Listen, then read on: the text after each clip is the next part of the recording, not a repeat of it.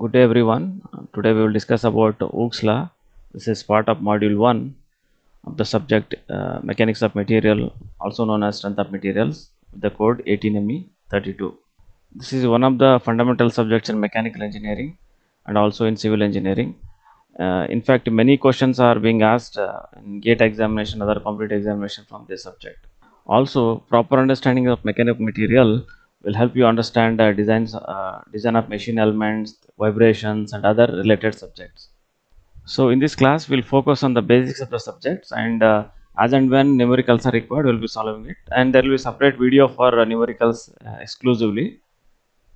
In case you have any doubts about the subjects or you want to make any suggestions kindly mail me at the mail address which i'm going to share you right now so you can mail me at uh, babureddy.dh at gmail.com. I would like to answer as many questions as possible. Okay, coming back. Uh, when a great uh, physicist and Nobel laureate Richard Feynman was asked uh, what would be the most important scientific discovery in our lifetime, he answered in single statement. It's called "Everything is made of atoms." In fact, in his uh, lecture series on physics, he writes, uh, "If entire world were to be destroyed, and what is the one sentence that you would like to transform to the next generation?" He says, "It's everything is made of atoms." It's so important that if this particular statement is understood, entire scientific uh, discoveries or knowledge that we have acquired so far can be reconstructed from this statement. In the similar fashion, if we were to find out what is the one statement that would help us understand entire mechanics of material without any problem. Then i would say it is the hooke's law. That is every material that we study in mechanics of material behaves like a spring and that it follows what is known as hooke's law. That's the reason why we have introduced hooke's law in the very first class even though in the syllabus it is mentioned uh, somewhere as the third and fourth keyword. Of course we'll again uh, come back to the hooke's law in a different format but right now we'll uh, look at the hooke's law and historical perspective to get the proper understanding of this Hooke's law. Before we proceed to understand Hooke's law, there are certain assumptions, subtle assumptions that we make in the mechanics of materials or uh, strength of materials. The first assumption is about the nature of deformation of the body. In mechanics, we have studied uh, the body is assumed to be rigid. What is rigid body? Rigid bodies are the bodies whose shape and size do not change with the application of load or force of course it is not possible to have a 100% rigid body because uh, however small the force may be there will always there will always be some or the other deformations in the body. However it so happens for all practical purposes this deformation is uh, very small and hence negligible. So we can consider body to be rigid body. But when we come to uh, mechanics of materials or strength of materials the very first assumption is a body is deformable. What is a deformable body? A body whose shape and size can be changed with application of force or load. That means we are assuming that body is deformable. So we apply load, there is a deformation, there is a change in shape, there is a change in size. So we want to un understand what is happening inside the body when the load is applied. What are the stresses developed? What are the strains developed? So this will be our focus of this mechanics of materials. The first assumption is in mechanics of material is body is deformable. Then let's go to the second assumption. Uh, that is body is in equilibrium. Technically speaking uh, the meaning of equilibrium is that body is not accelerating. That means its velocity is not changing. However uh, for understanding purpose and for brevity we will simply say when we say body is in equilibrium what we mean is body is not moving. That means even though you are applying force on the body there will be a resistive force on the body that will balance the applied force and keep the body under rest. Hence the body is not moving. So that means body is under equilibrium. Uh, this mechanics of material is not a new subject. It was known to ancestors also. Uh, in fact egyptians who built pyramids knew this mechanics of materials. So was the case with archimedes who understood the concept of equilibrium of a lever and the great uh, Greeks, the Romans who built massive structures also had the knowledge of mechanics of materials. And uh, in the recent history, if you look back some 200 to 50 years ago, Galileo studied the strength of materials in simple tension. Leonardo da Vinci actually wrote a note on testing the strength of iron wires and of various lengths. Then back to Robert Hooke. Robert Hooke worked on various kinds of springs, metals, woods, and sinews. Sinews is basically uh, a sort of uh, animal tissues inside the body. It connects the bones.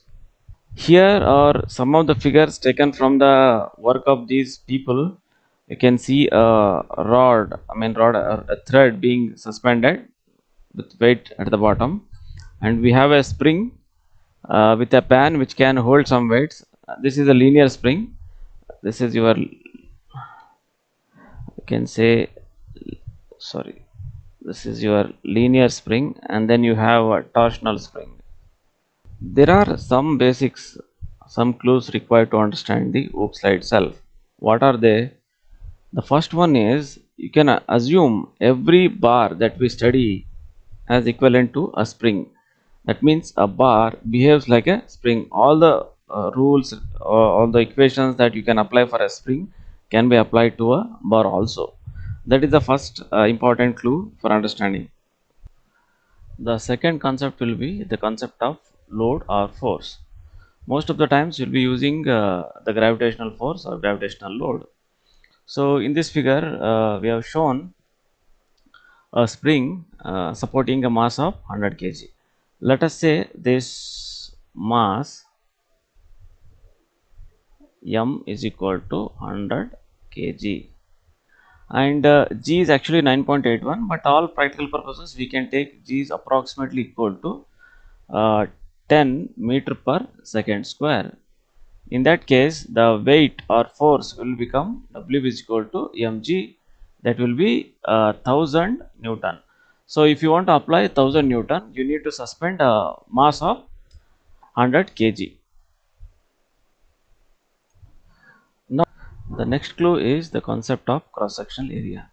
In this figure uh, you can see uh, a box and a cylinder. This box has got six faces and a cylinder has got three faces. But we are not interested in these outside faces. What we are interested in the cross section area. What i mean by cross section area when a plane uh, shown in this uh, say second diagram cuts the body into two parts then the cut portion is our cross sectional area. So suppose if you uh, take a box okay and uh, then you cut okay by a plane. Now this area the, cut portion is your cross sectional area. Suppose this uh, box has got length l and this breadth b this height h then in that case our cross sectional area will become l into b. Please remember height is not important here. Similarly if you take a cylinder okay and uh, cut like this you will get a circular cross section this circular cross section can be given by the formula a is equal to pi r square or pi by 4 d square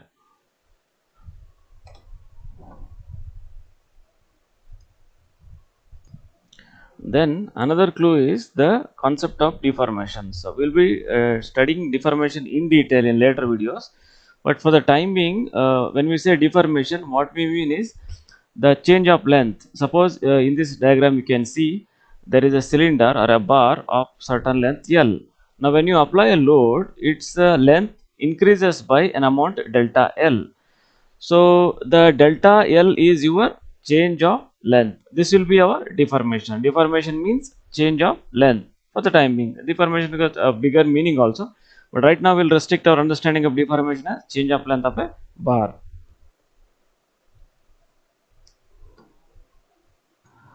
Now with the all clues and basic understanding we'll go to the what is known as Hooke's law. Hooke's law can be directly uh, studied as just a law relating deformation with other parameters, but let's study in a historical perspective. That is how actually Hooke's conducted his experiment and formulated this law.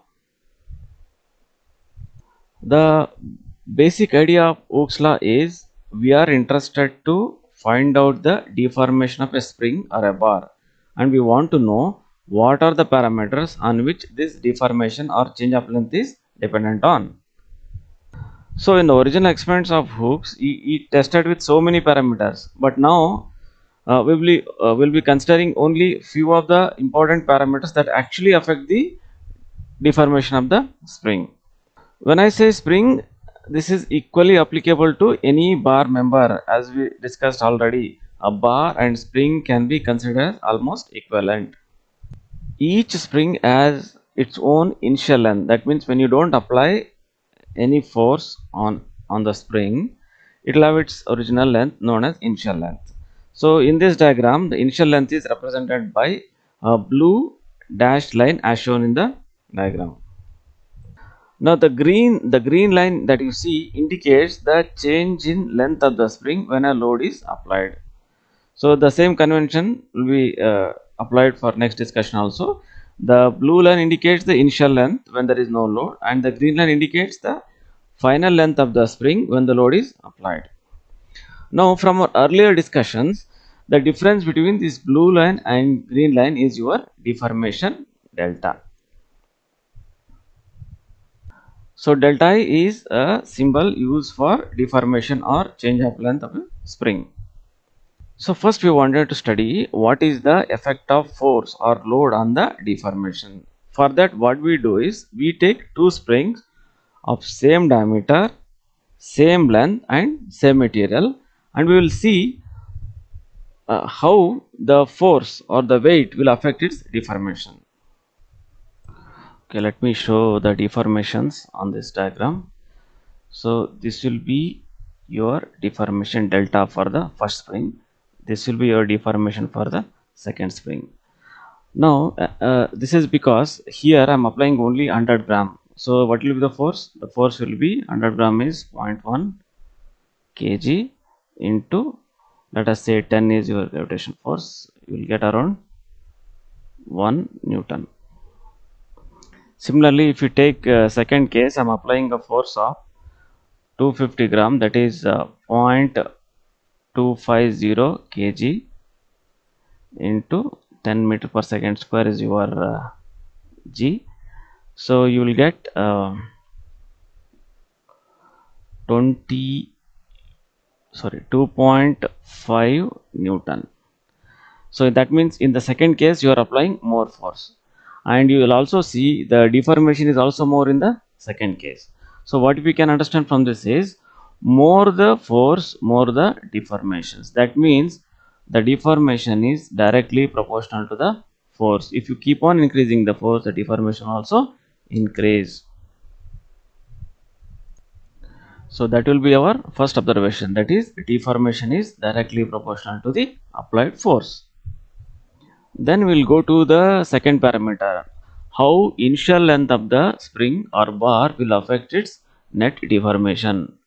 So in this case, uh, we have taken two springs of identical material, identical cross-sectional area, but the initial length is different. As you can see from this diagram, the initial length of the first spring was this much, only this much.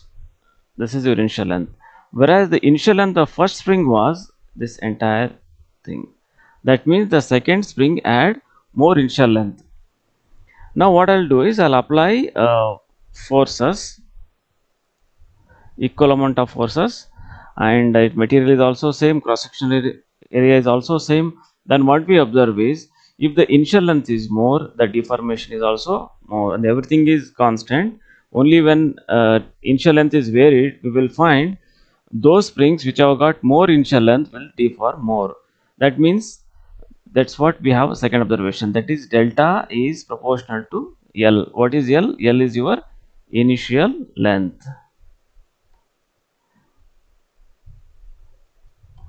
So that will be our second observation. So if you take two springs of identical material one which has got more initial length will deform more. That is your second observation. Let's go to the third one. We wanted to find out what is the effect of cross sectional area this is a little bit uh, interesting here.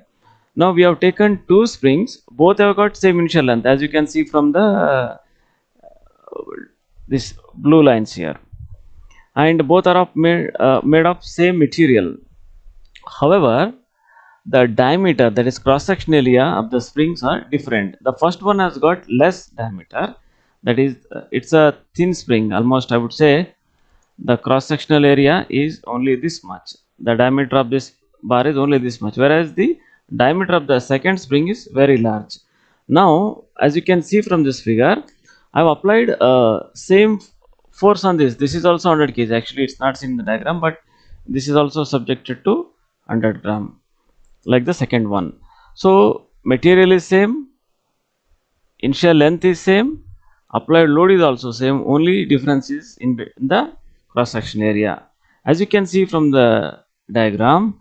This is inversely proportional. That means when the cross section area is more the deformation is less. Look at the second case.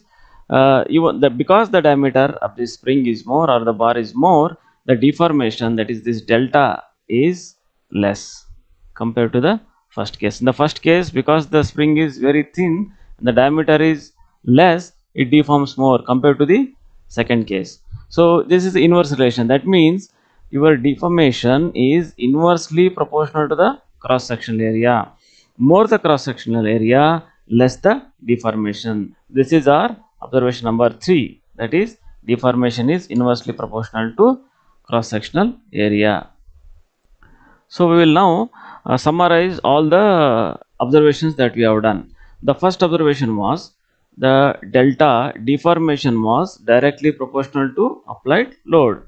And second observation was this deformation was also directly proportional to L that is initial length.